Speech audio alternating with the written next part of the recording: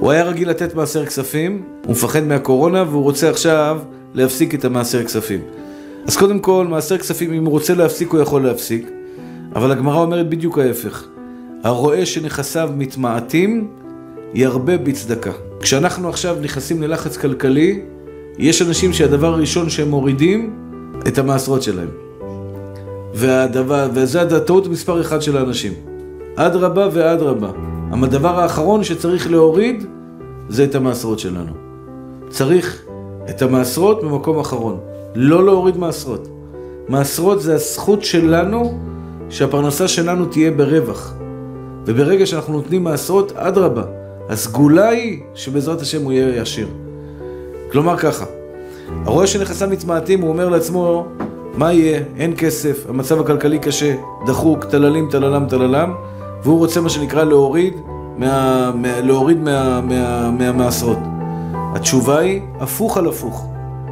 הוא ירבה בצדקה, ייתן יותר מהמעשר שלו, למה? כי זה שהוא נותן צדקה, בסופו של דבר יגרום לו שהוא יהיה, שהפרנסה שלו לא תיפגע.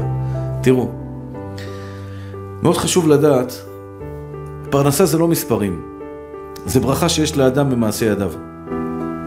כשאתה מסתכל רגע עכשיו על, ה, על החיים שלך, יש בן אדם שמרוויח עשר אלף שקל בחודש, ונשאר לו אלף שקל שנושם בחיסכון. יש בן אדם מרוויח עשרים אלף שקל בחודש, והוא נשאר במינוס של שלושת אלפים שקל בחודש. זה יש לו ברכה במעשה ידיו, זה אין לו ברכה במעשה ידיו. ורואים את זה בחוש. אתה רואה את זה בחוש. יש בן אדם, השתבח שמו לעד, כל אשר יעשה, יצליח. הוא מצליח בכל מעשה ידיו.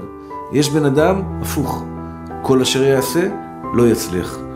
מעשר כספים, זה אני אומר לקדוש ברוך הוא, ריבונו של עולם, בוא תהיה שותף איתי בעסק שלי. בוא תהיה שותף איתי בעסק שלי. וברגע שאני מכניס את הקדוש ברוך הוא שותף, הוא שומר לי על הבית שהכל יהיה בסדר. דוגמה אני אתן לכם. מגהץ. יש אחד קונה מגהץ 900 שקל. מגהץ טוב, אה, עדים. תפעל. כן?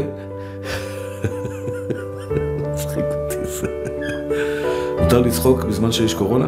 יש אנשים שרואים אותך צוחק, אבל מה אתה צוחק? הפוך על הפוך משוגעים, זה הזמן לצחוק.